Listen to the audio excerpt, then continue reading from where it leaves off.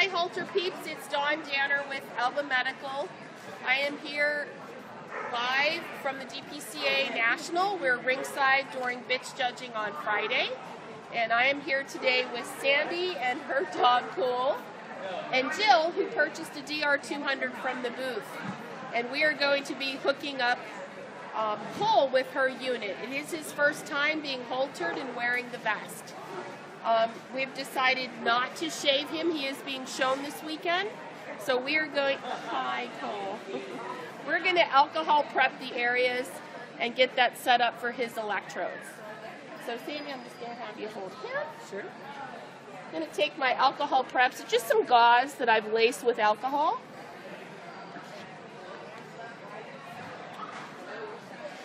We're going to prep, I'm sorry, sweetheart the area where I'm placing the electrodes. I like to do about a clipper length, a clipper width back from the elbow. It's going to be about right here. I'm going to go straight up.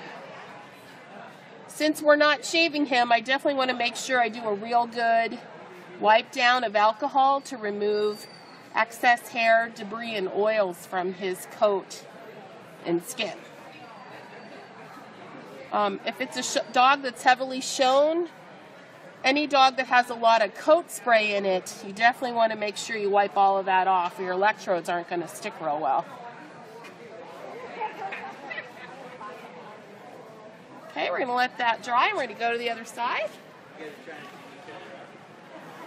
the same thing on the other side. Good boy. Good job.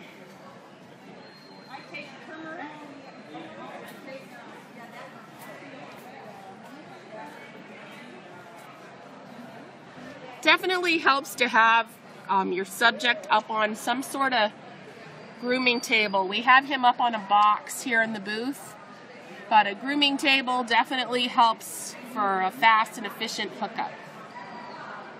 So the next part of this is I definitely want those areas that I just wiped to be completely dry before I put on the electrodes. So wet surface is not going to do well with adhesive pads. So while that's um, drying, I can start on my next part of this. Hi, Cole. Okay. So I'm going to grab my electrode packet, which comes in your little hookup kit from Alba Medical.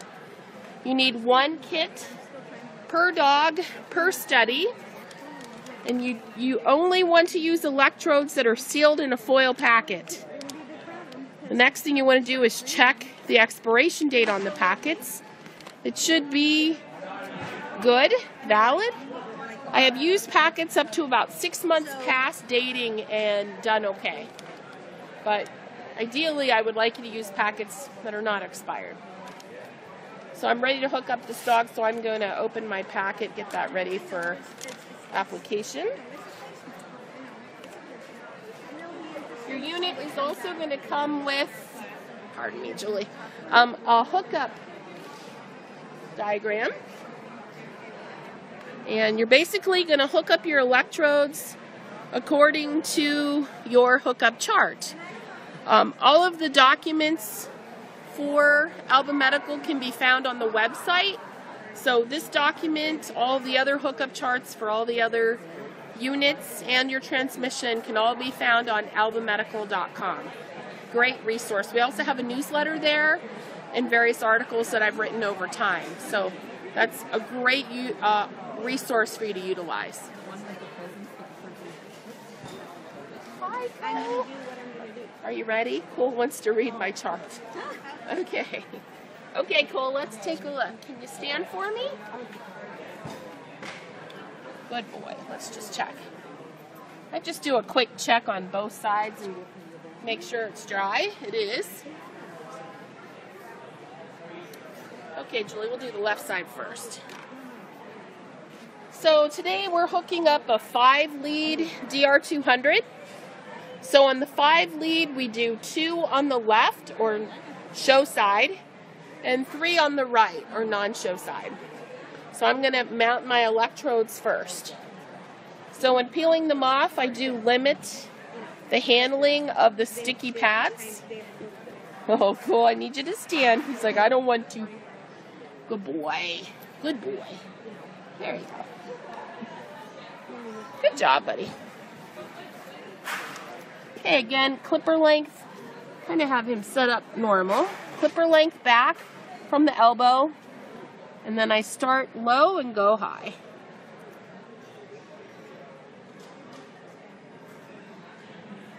One. You can see these elect electrodes are a little different shape than the ones I was using yesterday. Um,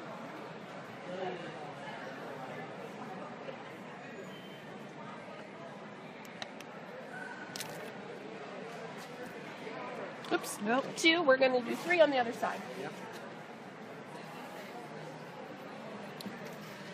Again, clipper length back, low.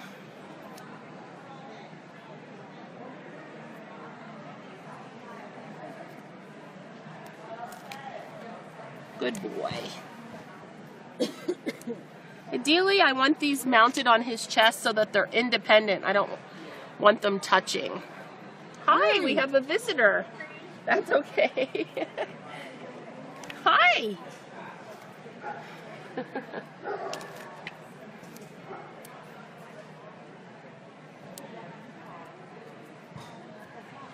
okay. Do put a little pressure on there. I'm trying to um, just encourage more contact. Ideally, I like these to sit on the body one to two minutes before I weigh them down with wires. Allow the contact to set a little bit. Um, a lot of people always have questions in regards to shaving or not. So I have a lot of show people that do not want to shave because they're showing the dog in a conformation ring. Or a blue or a fawn where owners are concerned about sh- concerned about shaving coat and the coat never coming back. So we absolutely can Holter without shaving. The act of shaving increases your adhesiveness of the pad to the skin. So instead of the pad being attached to hair, it's attached to skin. I do find the electrodes stay on better. But we do lot we've done lots of dogs here at the National where they come back next day, the electrodes are absolutely 100% in place. So I would rather people Holter and not shave than not Holter at all. So let's check the other side.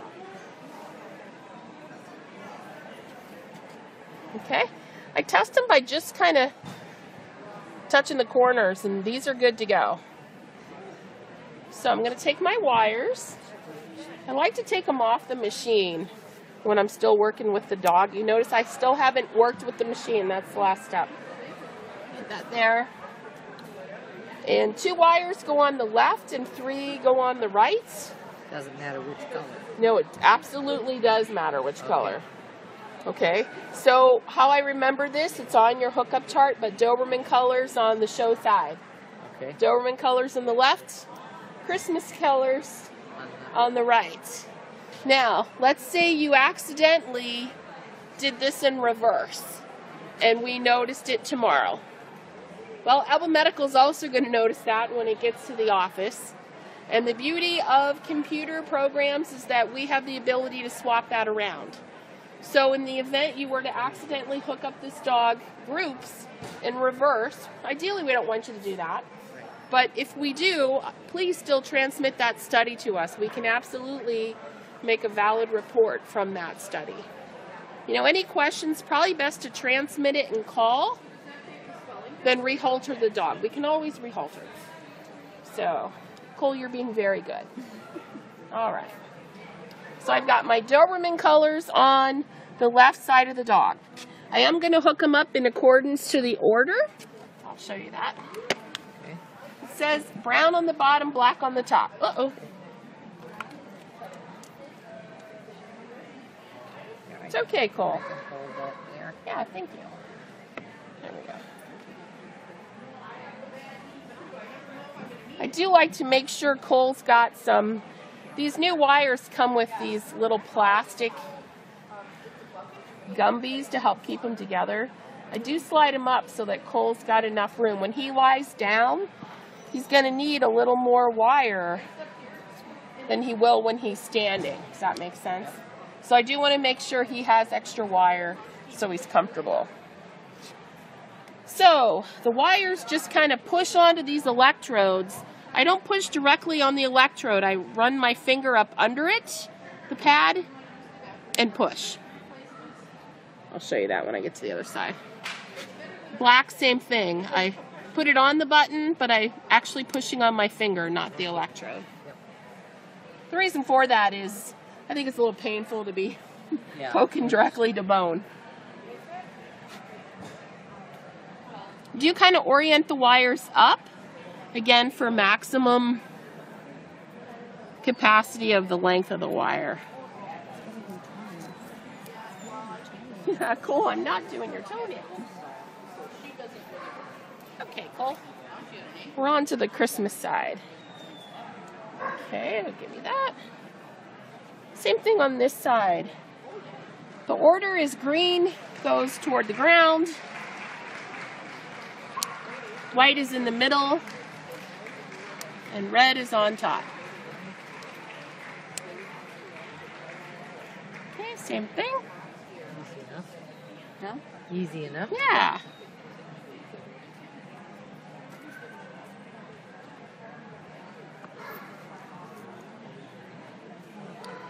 This Elastikon is available on Amazon.com. I'm really only using it to assure, you know, these wires just kind of snapped on. They can kind of snap off too. So I had a experienced cardiologist tell me I should put a bit, little bit of Elastikon on there just to help assure they don't snap off easily. So um, the tape is only there to keep those wires attached to the electrodes and discourage the snap off. Okay? So we're going to put um, his vest on him next.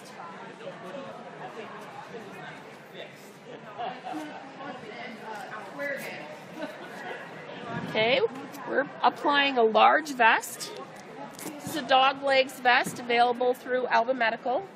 And this vest is specifically designed for a Holter monitor. Hi, Cole. I'll you hold that side. Oh, sure. And then we'll pop his legs through. Good boy. Cole's convinced I'm doing his nails. okay. Okay, you can see on this, the right side of the vest, there's typically a slit. The slit is for the wires. So we're going to put the hub of my wires through. Just make sure it's comfortable on him. I'm going to work on adjustment more later. Right now I'm just kind of getting it ready so I can check my unit. Okay, battery. Okay, Jill, why don't you come around here and we're going to work with the unit. So now we're going to start up this unit for recording. First thing I do is mount my wires. Confirm there's an SD card in there. It's not going to run if you don't have one, by the way. It'll look for it but not be able to find it. To put my battery in this unit. It's a DR200. There's no on and off switch. So the patient can't turn it off inadvertently.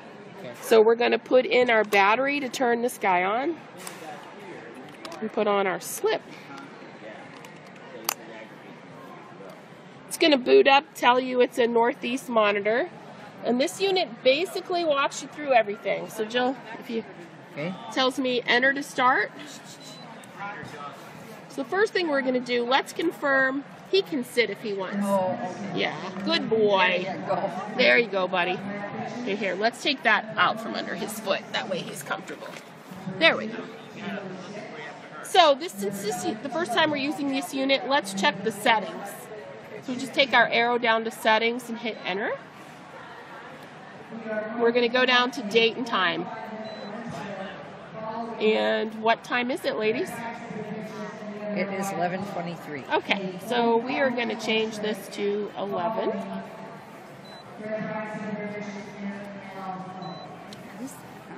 Twenty-three. 23. Okay. And today is the 14th, so the rest of it is correct. We just moved the time. This is also where if you decided, right now all of these units are set to record for an extended period of time. This unit can also do other functions. So it can be an event only recorder. And this is where you would change that. For us, for dogs, we're, we're never going to do that. But this, this unit actually does a whole lot more than what we use it for. So we're going to go back and do new patient information. This is where you're going to input something to identify Cole so that you know beyond a shadow of a doubt when his report comes back, this indeed is his information. What you put in this window is going to appear on your report as patient ID. Most people put a call name or fine. a birthday. Yep. Okay. So we're going to do the DR200 has the ability, hi Cole, to do alpha and numerical. So we're going to, I'll just put KOH.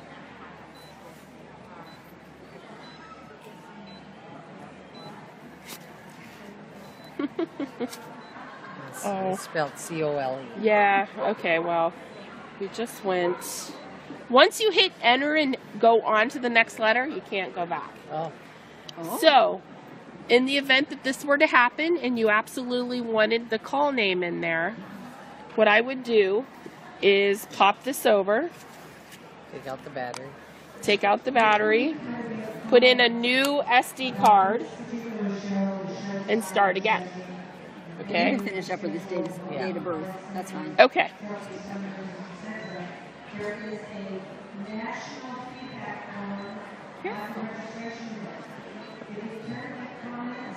I was going to do a K and I ended up with a.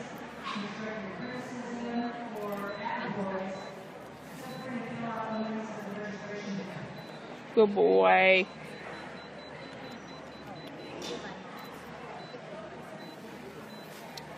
I know, sweetheart. Okay, when we're done, we're going to hit event. At this point, the unit is going to start. Hi, Mimi. Thanks for joining us. We're live on Facebook. Hi, Bud. Are you pretty? what are they doing to you? They're making sure you're happy. Hello, hello. So we're now checking our hookup. The DR200 digital unit has the ability to check your hookup prior to start. This is important because we know the unit is working properly, your wires are working, my hookup is good, the electrodes are working. Everything's good to go before we set Cole on a 24 hour mission of wearing this unit. So, what we're visually seeing here are three recordings of ECG. Every Holter monitor records three independent tracings of ECG. In the end, I only need one recording, one tracing, or one channel working to get your report. So the take home on that is if he were to lose an electrode or two, still you're still going to get a good report. So please do not discontinue the report if you find one wire has come off. I would save your electrodes, reapply if a sticky came off, rehook up, and continue going. Now, I would only save these for 24 hours. After 24 hours, they need to be destroyed. Yeah, they need to be tossed. I would actually put this in a plastic bag and save it, okay? Most of the time, though, they don't come off. So, um, right now I have all threes on my channels. Actually, oops. Sorry, Cole. I have a five, a four, and a five. So the maximum score is a five, and um, five, three or three, four, or five is good to go. Okay. So we are in excellent shape for this unit. So down here it says event to start. I'm going to hit event. The unit's going to start counting down. Oh, you got to hold it in.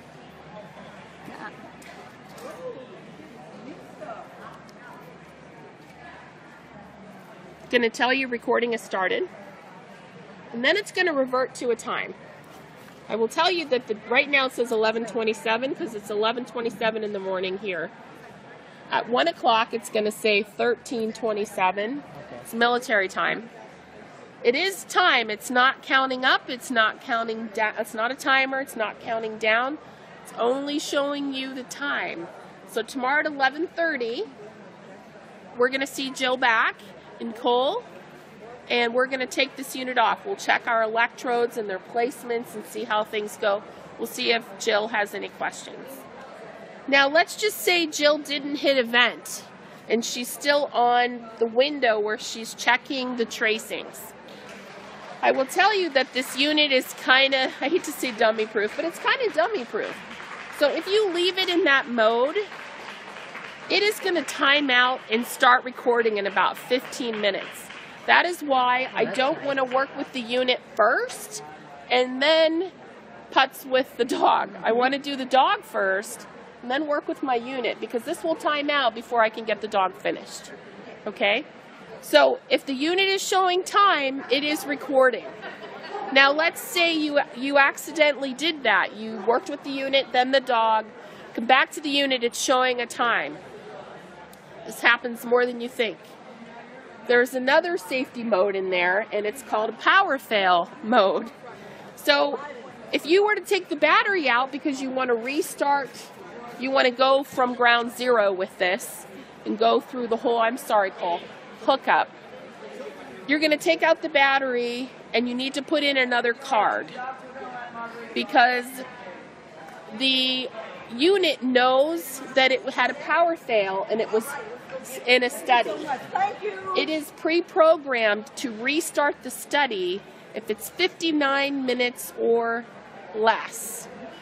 If it's over 59 minutes, if it's an hour or over an hour, then it's going to revert to restarting from ground zero. Okay?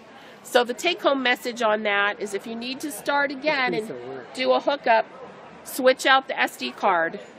If you only have one SD card, then wait an hour and a minute and start again. Okay? So the last thing we're going to do is it is raining here on and off here at the National. I do recommend people protect their investment. So for every hookup kit, you have a wonderful little plastic bag.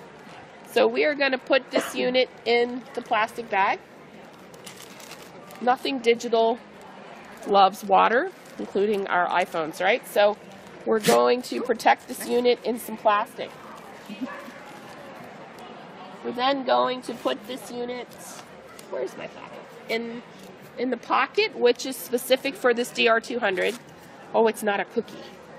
You deserve a cookie, though. You've been good. Okay, hold on. So we're gonna oh cookie. Gonna put this unit in its SD in its pocket. Would you prefer this on the top or the side? Probably on the top. Like The top. Okay. So first, can you hold that? First thing I'm gonna do is snug this down now, since everything's working. I'll tell you that I have found over Holtering lots of dogs that they do like it form fitting. So snug it up as best you can. You know, not too tight, but fairly snug. They they don't. If it's snug, then they don't spend all day shaking it off. Right. Okay? He's got lots of clearance everywhere. I've got the vest covering my electrodes. So I'm going to place this on the top and then I kind of pump back in my excessive wire. I don't want anything hanging for him to get caught on. So I kind of just tuck everything in. Hey, buddy. Okay, I'm going to have you stand one more time and then we'll be done, okay? You get a big cookie. Stand? Okay, so the last thing is the placement of the belt. The primary placement of the belt is to hold this unit on on the coat. It does have Velcro on the back, but that's really not enough to keep it there. So I placed the belt for two reasons. One, to hold your unit, but two, so I really like it to have, I really like to have some extra pressure over those electrodes. So one of the reasons why I put them in one line is so that I can run this belt over them.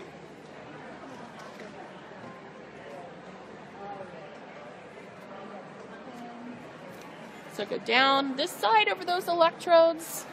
I'm going to feel and go up the other side. No, not too tight that he can't breathe, but fairly snug. Okay? And that's it. Cole's done. He's going to come back and see us in 24 hours.